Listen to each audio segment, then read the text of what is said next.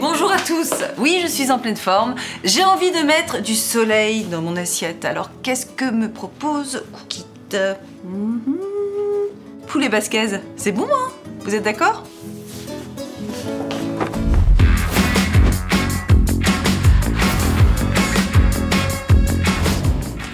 Et on commence par assaisonner la viande. Poulet?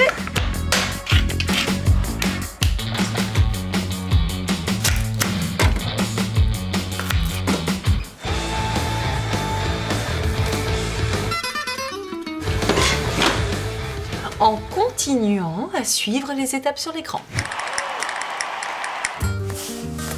Cette parenthèse auditive alléchante vous est proposée par Bosch.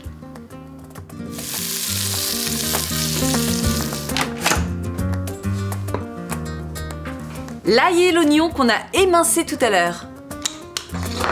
Les piments que j'ai passés juste avant au four.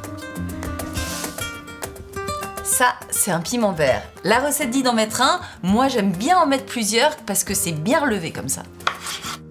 Olé. C'est vrai que ça marche bien ce mélangeur 3D là.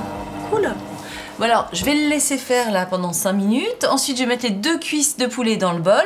Je laisse mijoter 40 minutes. Parfait. Comme ça, je vais pouvoir faire plein d'autres trucs pour moi. À tout à l'heure. Je, vous laisse euh, vérifier. Hein. Bonjour à tous et bienvenue dans votre émission hebdomadaire spécialisée bien cette émission dans là. la pâtisserie. Elle est bien la nana qui présente moments, euh, Julia, euh, je sais pas quoi là. Super. Elle va aller loin la petite. Mmh.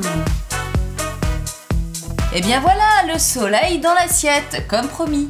Le poulet basquez avec du piment fort comme je l'aime, un délice. À bientôt pour une prochaine recette. C'est moi qui l'ai fait, regarde.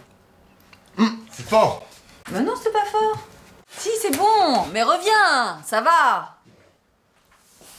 Quelqu'un veut essayer mon poulet basquez?